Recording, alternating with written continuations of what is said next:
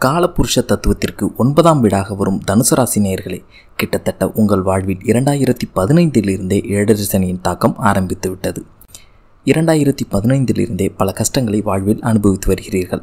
குறிப்பாக நல்ல வேலையில் இருந்தவர்களுக்கு வேலை இழப்பு தொழில் செய்தவர்களுக்கு தொழிலின் நஷ்டம் திருமண சங்கடங்கள் திருமண தாமதமாதல் திருமணமானவர்களுக்கு டைவர்ஸ் பிரச்சனை கணவன் மனைவி ஒற்றுமையின்மை திடீர் கடன் பிரச்சனை திடீர் நோய்வாய் பிரச்சனை இதுபோல பல பிரச்சனைகளை கடந்த ஏழு வருடங்களாக அனுபவித்து வந்து கொண்டிருக்கிறீர்கள்.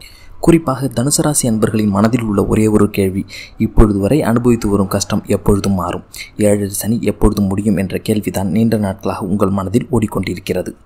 அதற்கான பதில் வரும் இரண்டாயிரத்தி இருபத்தி மூணு ஜனவரி பதினெட்டாம் தேதி சனிப்பெயர்ச்சி நடக்க இருக்கிறது. இந்த சனிப்பெயர்ச்சியால் கடந்த ஏழரை வருடமாக உங்களை கஷ்டப்படுத்தி துன்புறுத்தி வந்த சனி பகவான் உங்களின் இரண்டாவது ராசியிலிருந்து மூன்றாவது ராசிக்கு செல்வதால் தனுசு ராசி அன்பர்கள் நீண்ட நாட்களாக கேட்க ஆசைப்பட்ட வார்த்தை இரண்டாயிரத்தி இருபத்தி மூணு ஜனவரியுடன் உங்களுக்கு ஏழரை சனி முடியப் போகிறது.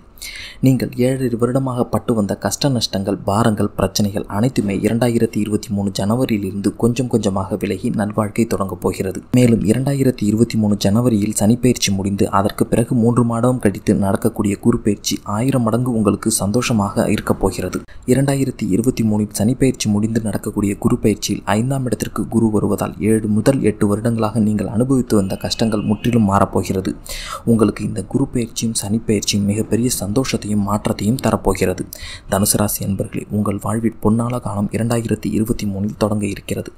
நன்றி.